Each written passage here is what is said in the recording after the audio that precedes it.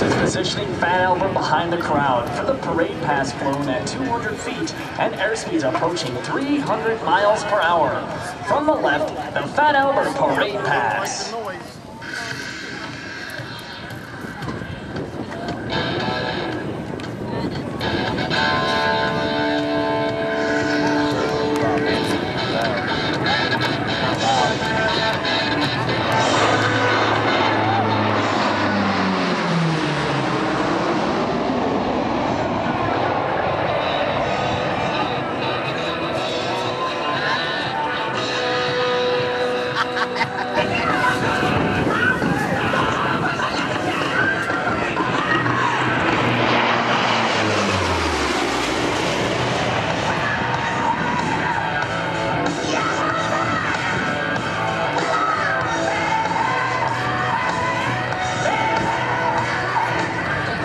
The course of a complete show season, Fat Albert will fly more than 100,000 miles, carrying a normal show load of 45,000 pounds of fuel, 35,000 pounds of equipment, and a specialized support and maintenance team of 47 personnel.